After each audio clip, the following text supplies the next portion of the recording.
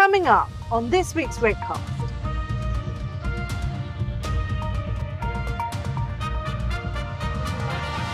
Imagine the day that you can have your equity derivatives desk have a hedge fund short an equity swap. You have to you have to short sell the stock on the other side.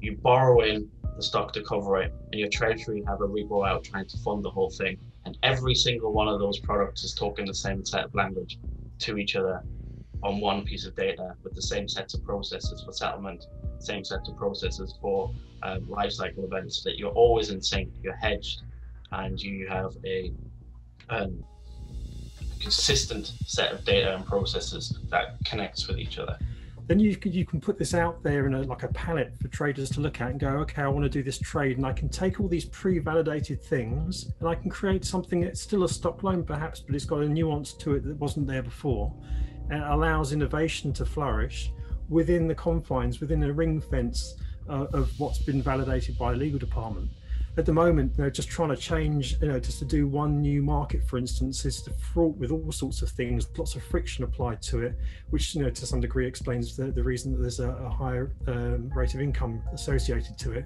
But it takes a lot of time to go through all of that and to explain to people what needs to be done to get the validations for it. Imagine you could just say, okay, I want to, I want to do this, and by the end of the day, you've done a new type of trade. It was all, it was all pre-authorized.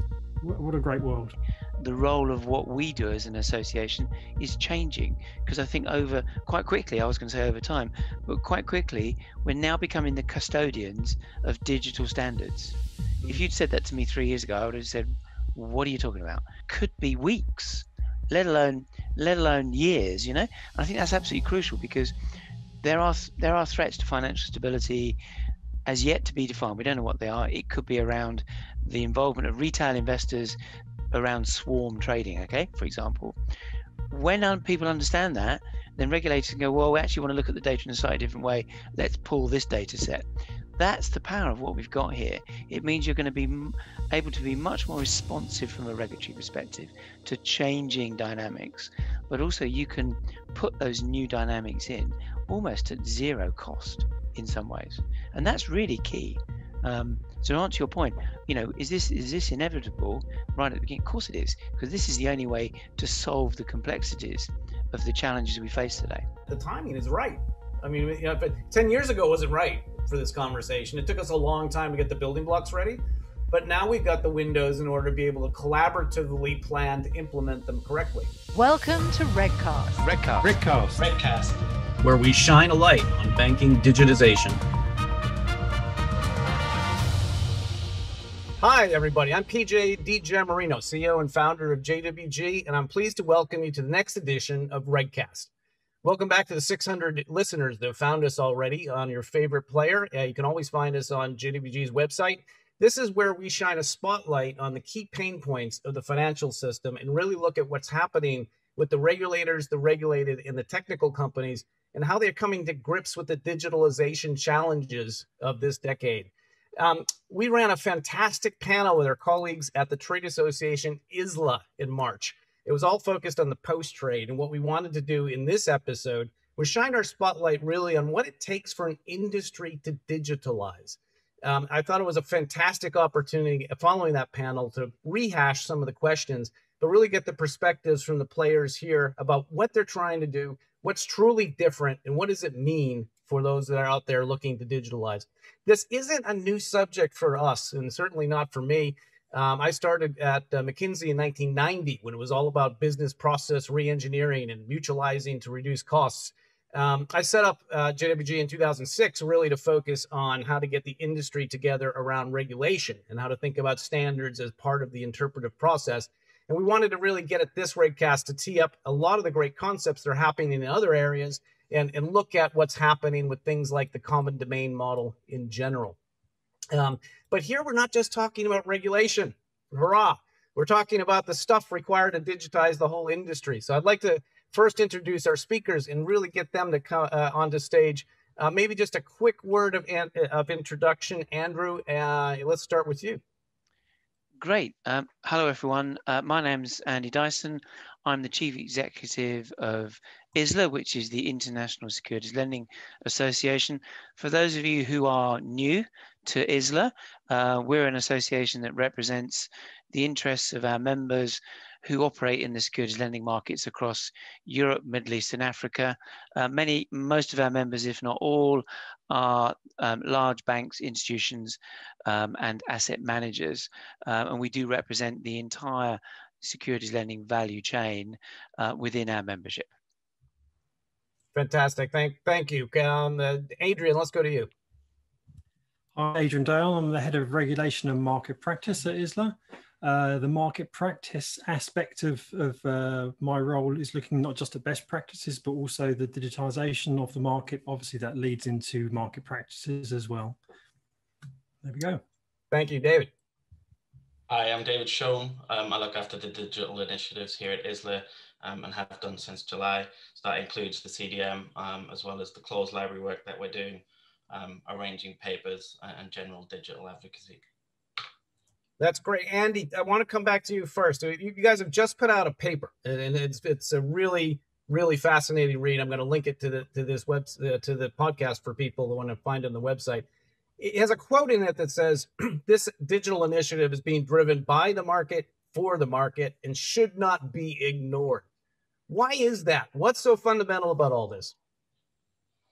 Okay, um, PJ, that's a great question. And um, once again, many thanks for the opportunity to, to be with you during this session. Um, we, um, as I mentioned before, are uh, an industry association looking at, you know, what's important for our members and what are the things that they're beginning to ask us and talk about and what's driving their, their business development. Um, now, if we were to wind the clock back 10, 15 years, um, you mentioned in your introduction the idea of the mutualization of issues and commonalities was a quite a novel concept but what we're now seeing and we would have we would have been exactly the same where we would have been responding to you know legislation and member inquiries almost on a, a one-to-one point-to-point basis.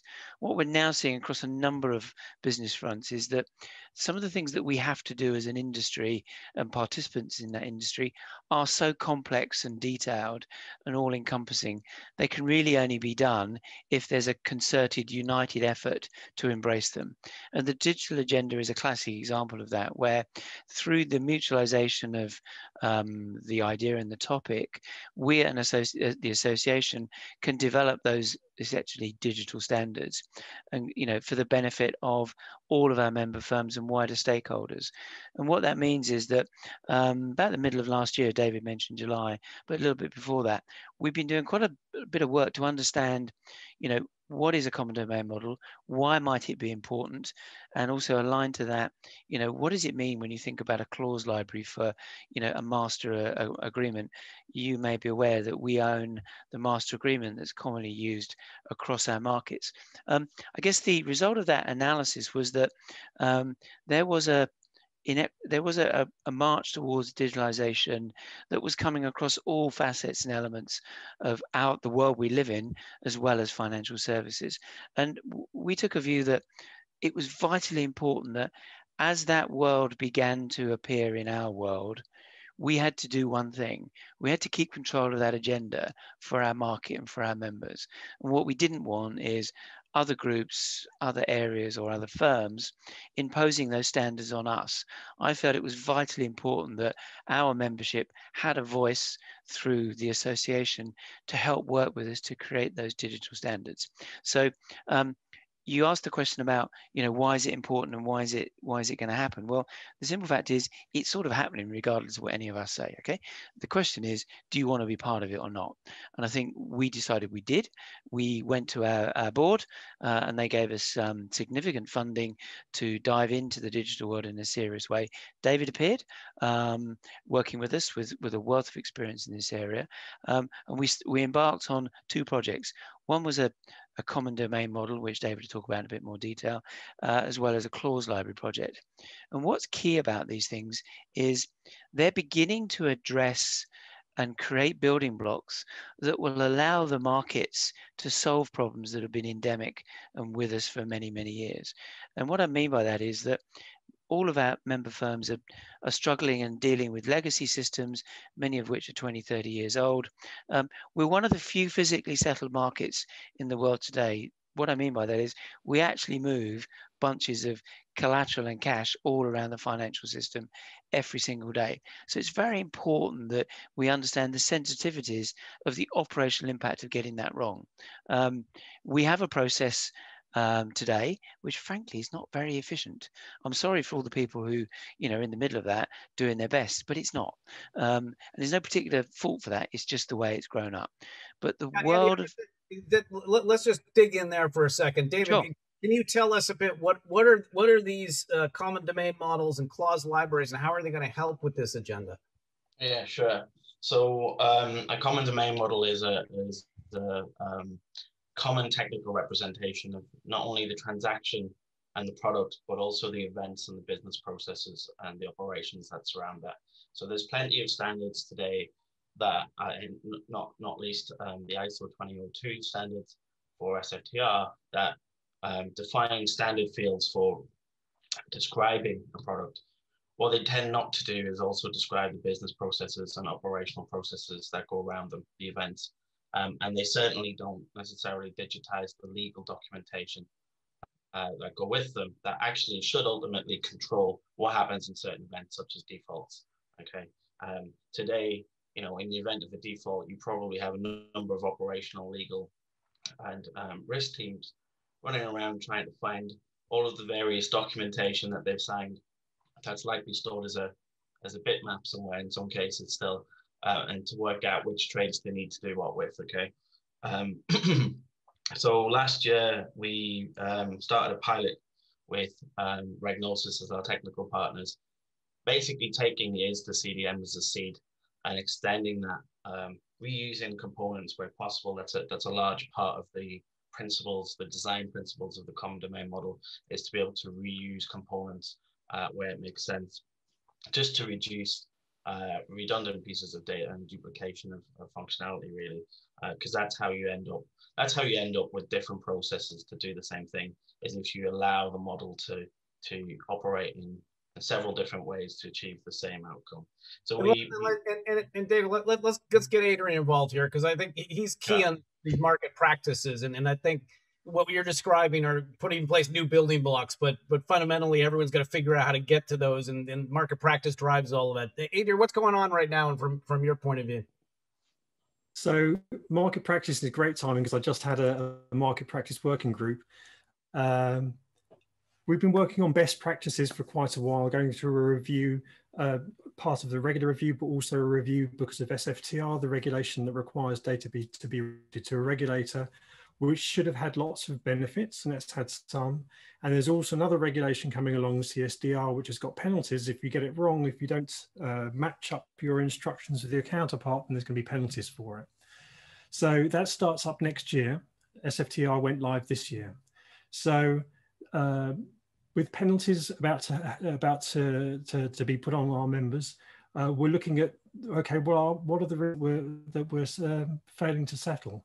So in preparation for that, we did a settlement survey, and the data came back from that. And I was talking to the group about it just before uh, speaking to you now. Um, to give it context, we did a survey 2018, and we've done a survey that we just finished now in March. And the conclusion from those two surveys are nothing's changed in about two years. Now, over that two year period, we've gone live with uh, SFTR, which should have, because it uh, has uh, dual sided reporting in it and people are reconciling their instructions with each other, it should have, it should have improved settlement rates, and it hasn't, which I think is a, uh, we're going to be talking about that for, for years to come, most probably, because that's a very interesting point. It also is an interesting point of, but hang on, you're going to be charged money for, for not settling and you haven't improved in the past two years. So, you know, back to you, the market. Well, no, what's going on there? Yeah, so, so let's, but let's let's talk about why, because I think on the panel I ran for you guys was very clear. The numbers known, right? Three billion pounds a year is what, what we're talking about as an opportunity mm-hmm. cost. So there's a lot of money there. It, it, you know, if, if we start doing this in, in, in better ways, I guess Andy, let's come back to you. I think you're getting on an interesting point about the dynamics here what has to happen in order for people to realize, oh, okay, there's a piece of that for me, and that's I'm gonna I'm gonna start making some changes. Um, it's a great question. We all seem to know where the problem is, And I think what's going to happen is there's got to be a bit of a change of thinking within some of our member firms to actually say, look, rather than acknowledging I'm just going to put another sticking plaster over this particular issue, which often revolves around getting more people in to do reconciliations, let's understand why why we've got the breaks in the first place and how are we going to go into that chain of events and deal with that through things like standardization, market best practice, and ultimately digitalization. So I think that, you know, what's got to change is people have got to almost wake up and recognize that you can't keep putting um, sort of stop gaps or sticking plasters over the issue. And the reason that's going to change pretty soon is you start going to get fined. In the past, there's been, and if I look at my market and I've been in it a long time, the single thing that tends to change behavior is financial penalties or financial implications. So when you don't get fined for failing and you're not and funding rates are at zero because interest rates are at zero for failing, frankly, nobody cares. As soon as you bring in uh, a, something like fines, um, we we generally accept that fines do change behavior. People suddenly wake up and think we better have a look at this. Uh, so I think CSDR is the catalyst that's going to say to people, we need to take a look at this because we're bleeding money because we don't seem to be able to settle a trade. That's that's it, PJ. It's very straightforward. Our market is not that complex in that in that respect. So, David, you want to you ought to then be seeing lots of mobilization from the from the vendors and the service providers and then the data providers in in the, in this space uh, recognizing and starting to pull on on what you're doing. Or is that, is that the case? Are you starting to see take up in what you're doing? So, so yeah, I would say that um, I've been pleasantly surprised with the amount of interaction that we've received, um, particularly after the pilot. So we, we held a showcase just before Christmas, in which actually it was three of the primary vendors in our in our industry, um, all working together to execute, then uh, book, and then reconcile one set of data using the CDM in what I think is the first true demonstration of um, interoperability between those three vendors um, in all the time that we've been talking about interoperability for SFTR, for instance. And now with the second phase that we're on now, the um, building out the minimum viable product, we actually saw another 10, 15 firms come along and asked to join the group. Some of the larger investment firms and a few more vendors. So yes, I think we are seeing that that uptick in engagement. I, sorry, PJ, can I just let's pick up a couple of points? So, Andy mentioned about putting plasters on things. If you take the example of, okay, penalties are coming, I want to reduce my exposure to them, what should I do? I'll hire some more people. If you hire more people, then you still have the same issues that you have at the moment. And it's a great, great example of putting a plaster on something by throwing resource at it simply isn't going to do it because volumes in these markets is going to keep on going up as spreads go down and uh, you can't you can't just keep on throwing more and more people at it. If you have a digital approach then you then there's a way of saving money in there because you can increase the volumes and and not increase your resourcing. And that's part of the reason that firms are, are becoming more and more interested in in the common domain model. The the going back a second to your 3 billion number there was a great quote I, think, I can't remember who said it but was it operational deficit?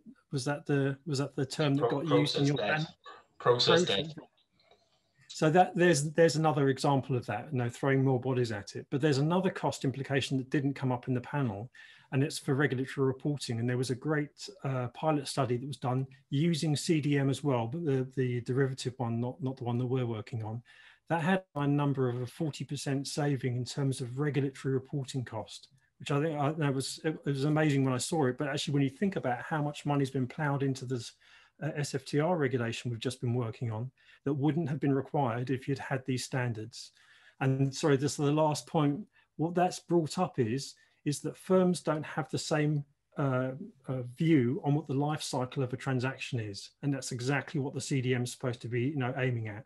And there are still breaks today on life cycle disagreements, we call them between counterparts. And, and the only way to solve that would be that they all represent their data in the same way, not just to each other, but also in their internal systems. Yeah, Adrian, I, I, think, I think that's spot on, and I, I, guess it highlights a bigger question around timing, right? And what what, I, what I've seen, I mean, I, I was there in 20, uh, 2000, sorry, 2006 when MiFID one was rolling out, and everyone was just sort of taking a, a securities based reporting regime and looking how to extend it, and then we went through it again 10 years later Um, you know, we for derivatives, we've been doing this for a, a decade, and it's all been very suboptimal because we've reacted very quickly. That you know, we waited, waited, waited, finally got the specs, and then we just reacted. And, and I think that the difference of timing that I see now is that people are getting ahead of things, right? You're, you're talking about working on something now that's due next year, you know, and that, that gives the market a chance to, to, to, to come together. I guess what, you know, from my point of view, eh, you know, the, the, the, the, challenge comes in that legacy in that process, process debt or, or technology debt that you've got and trying to get it to adapt. And I guess that's the big challenge is how do you get everybody to, to realign against these, these new artifacts? How, how big of a challenge for CSDR do you think that's actually going to be? For, for, for to me to answer, right? Uh, I think actually it's with the survey. Actually, I, I was talking about earlier. Actually, is giving us an insight into it. One of the uh, one of the responses that came back survey was the reason that something didn't settle is because the counterpart, the person who's delivering it to them, was insufficient. They don't have the securities. All that's telling you is that somewhere or other upstream, there's been those problems. There's been a life cycle disagreement. There's some static data that's gone wrong, or whatever it might be. And also, it's a very important light that security lending is a part in the in the wider ecosystem of financial markets. Assets are passing through the security lending market, and they could have come from anywhere else with different legal agreements, different standards that apply to them. And until you start to link all these things together, together to, to form you know that that uh, one chain across all the ecosystems you're not going to solve some of these underlying problems so there are some at the moment that when people look at them they're completely unsurmountable they can't there's no way they're going to be able to solve them until the whole market starts moving towards uh, digitization. And it seeps into every aspect of everything that everyone does. And at some point there'll be something equivalent to the cambrian explosion where all of a sudden the data will just fit together correctly and things will start to flow. And I, and I wouldn't be surprised if if it's as profound enough to you know to to appear on the, some of the pink newspapers and those sort of uh, publications because it, I think it'll be profound at that, and we'll see it happening. It's it's like almost like a revolutionary type of um, moment. I, I, love that explosion. I, I, guess who who lights the match and who who puts it to the touch paper? Is it is it the legal guys who really want to adopt your you know the, the common contracts and codify recodify all the, the legal agreements that they have or is it more the ops and tech crowd that really wants to get the uh, these processes and reporting sorted out. And andy what's your view? You have a you have a mixed membership there. Yeah um I think it, it's going to be a, a, mixture of both. And what I mean by that is that already uh, we talk to lawyers and, and legal representatives from member firms who are who are you know, right at the cutting edge of working with us in terms of something like the clause library, they sort of get it and they understand the benefits of standardizing the variations and the clauses. Um, and even there, there's, I think the name of the game here is PJ is efficiencies. So they're looking for speed and efficiency of negotiation so they, they can use less lawyers, less legal time, which tends to be a premium cost. Similarly, in the, the ops world, um, not only have you got this idea of, you know, um, legacy infrastructure um, collecting around it more cost as it needs more people to keep it running, um, whether that be through reconciliations or whatever. But you've also got the the, spe- the scepter of fines. So I think you know people running um, post trade areas will be now saying, well, we've not only got an inefficient model that we're probably underwater with, we've actually now got the impact of fines. So at a, an overall business level, people who run overall businesses, they've really got to be saying to themselves you know, actually, does this business still make sense from a P&L perspective? Perhaps it might not. And I do fear that some of this could, in theory, and this is an interesting debate, at one side could argue that people will be forced away from the market because it plays into the hands with people with scale. Um, but actually, we, we would actually see it in a completely different way. By standardizing entry points into our market, which is what something like the CDM and the clause library do, it lowers barriers to entry in terms of cost, and therefore we will attract new entrants. Um, and we've already seen quite a lot of interest from firms who you might regard as sitting on the periphery of our markets, custody providers, etc., who get what we're trying to do immediately.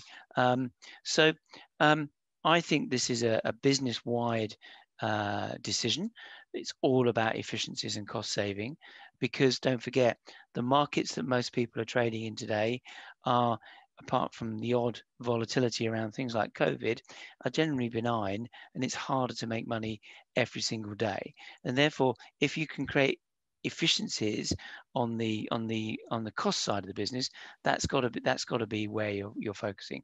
So I think does that answer your question, PJ? Yeah, I, I, I think it does, and it forces us into that standards discussion. I wanted to bring David in on here. So, so David, standards are great to talk about because everyone just nods their head and says yes, but there's actually so many of them, and what we're talking about is actually changing the way standards are done. So a lot a lot of the way regulators have approached standards is to give us data points.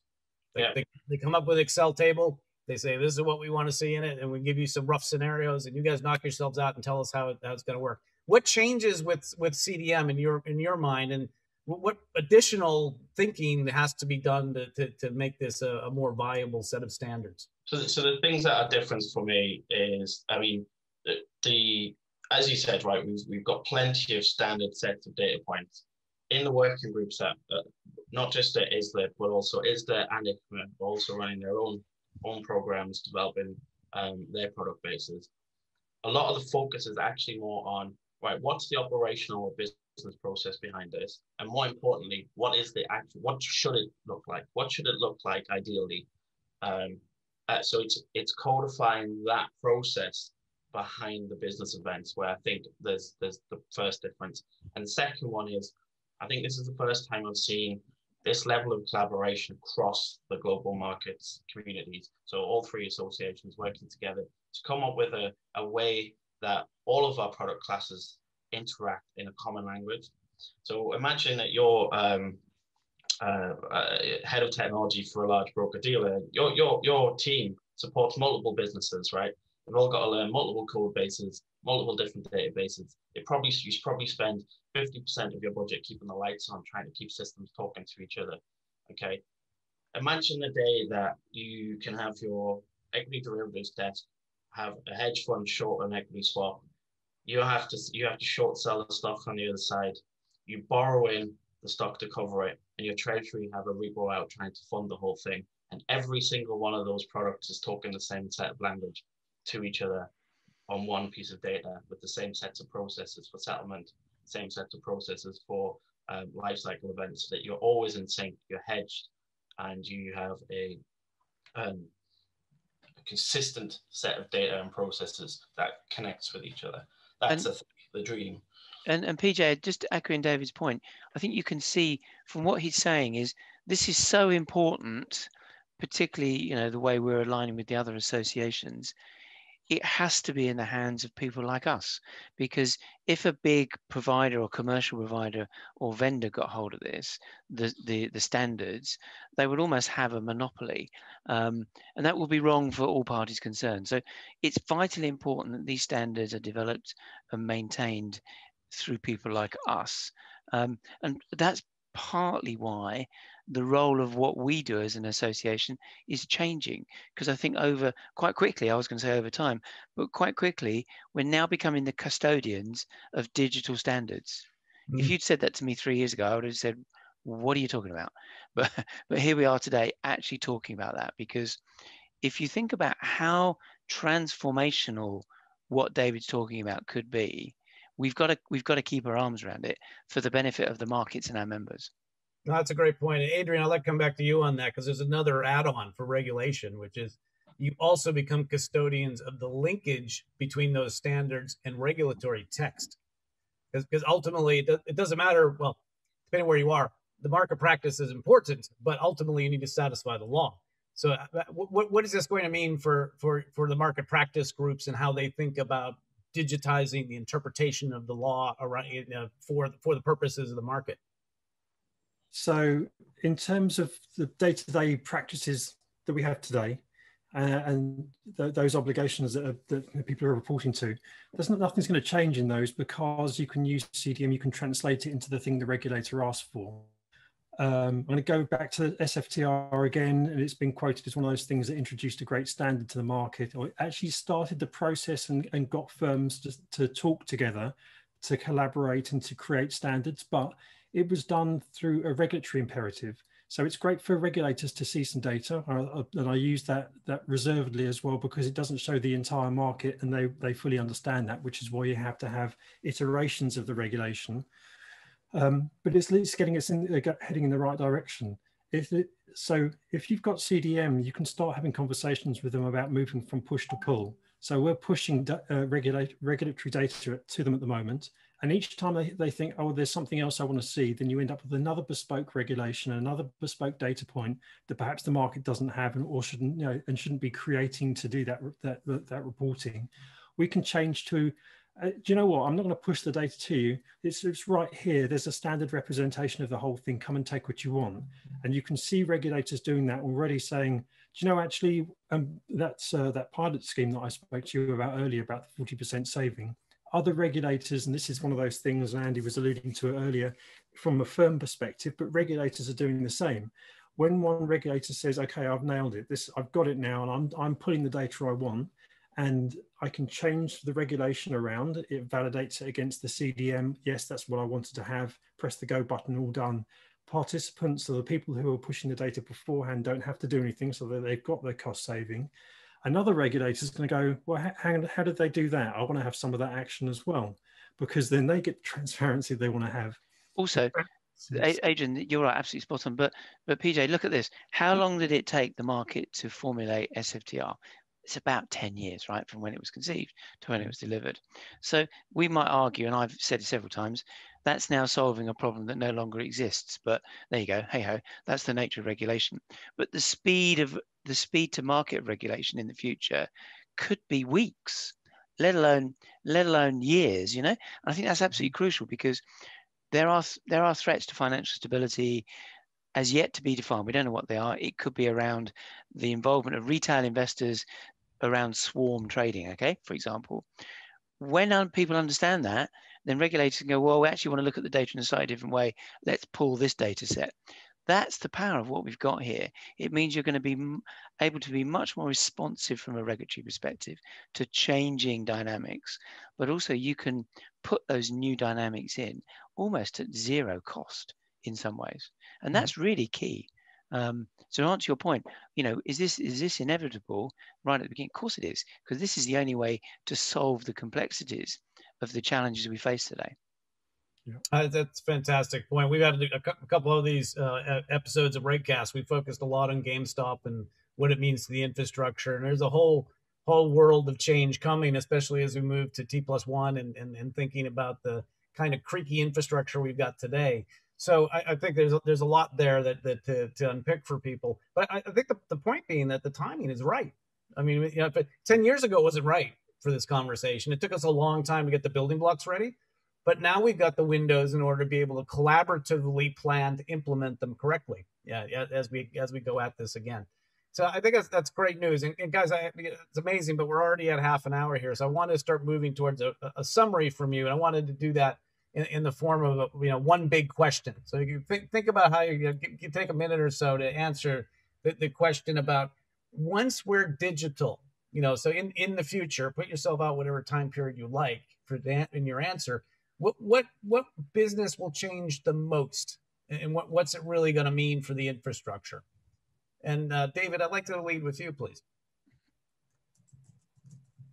Um, so i mean i think uh, clearly it's going to be the post-trade world um, as soon as you can integrate digital legal documentation along with a standard representation of your transactions, you've got a smart contract, right? Um, you know, well, that doesn't have to live on a chain. It can live uh, anywhere you want. The, I mean, you know, the apps on your phone today effectively are all operating through smart contracts. But look at how little operational support you require to run something like Uber, right? So that I think is what we're going to see change the most in the next 10 years. Thank you. Great, great, great point. Um, uh, Adrian, let's go to you next. Uh, I've got a whole bunch of them. Actually, we can go on for another half an hour. But the, actually, one of the things I like to I like to think about is innovation. It sort of tags a, a little bit with what David was saying. Uh, the so with when you when you have this standardization, especially in the legal um, sphere, uh, Uh, all of the individual parts of a legal contract have been validated by your legal department and they could go through validating all the different combinations of the variants of, of that legal contract as well. Then you can you can put this out there in a like a palette for traders to look at and go okay i want to do this trade and i can take all these pre-validated things and i can create something that's still a stock loan perhaps but it's got a nuance to it that wasn't there before. And allows innovation to flourish within the confines within a ring fence uh, of what's been validated by legal department at the moment, they're just trying to change, you know, just to do one new market, for instance, is fraught with all sorts of things, lots of friction applied to it, which, you know, to some degree explains the, the reason that there's a, a higher um, rate of income associated to it. But it takes a lot of time to go through all of that and to explain to people what needs to be done to get the validations for it. Imagine you could just say, okay, I want to, I want to do this, and by the end of the day, you've done a new type of trade. It was all, it was all pre-authorized. What a great world! Sounds fantastic. Andrew, Andy, what do you want? Um, yeah, listen, it's a great question, and I would echo um, both what David and Adrian have said.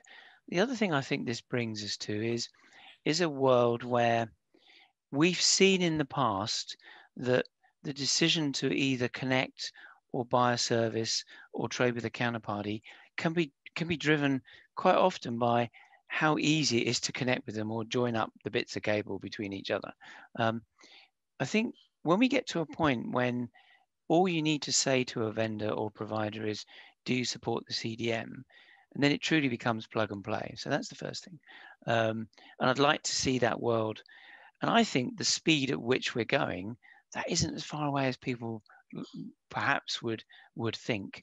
And some of the legacy incumbents would like to think that's a long way off. I think it's coming pretty quick.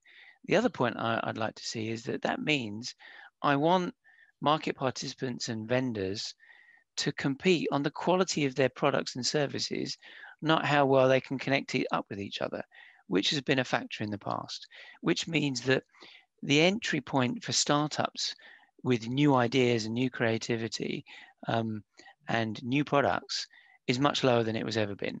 So I'd like, so therefore I see a big, deep, vibrant market um, that people can move in and out of. Now, that in itself is great, but it also presents a huge challenge or threat. Because if you make it really easy to enter a market, then somebody might show up in that market who could actually dominate. So, you know, some of the incumbents from elsewhere in the digital space might see the opportunity, particularly from a digitalized perspective, and think that's easy. We understand that market. It's all standardized. Let's move into it. We've seen that. We've seen that in other markets, um, which means you've got to be prepared to be confident you can compete on the quality of your goods and services, not put up barriers to entry. So there's, I think there's a, an exciting time ahead for all because of these developments. Does that answer your question?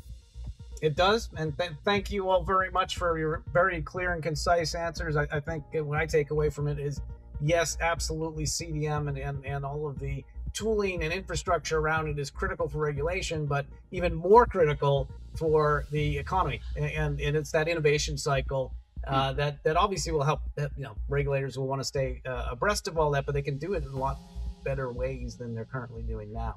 Um, so for me, that's a, a, fantastic wrap up. Thank you, thank you very much, gentlemen. It's been a, a pleasure working with you over the last couple weeks.